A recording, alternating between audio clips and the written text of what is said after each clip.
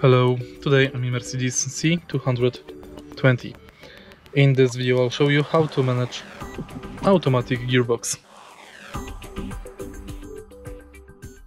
In the beginning take a look in the center of the car. Right here we've got the gearbox shift.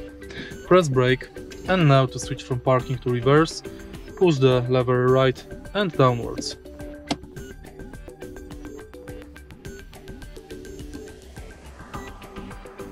To switch it from reverse to neutral, pull it downwards.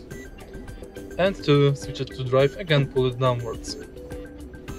You can also manually change gears by pushing the lever right and left.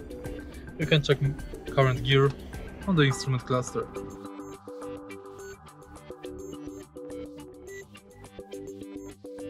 And that's basically it. If you find this video helpful, please leave like, comment and subscribe.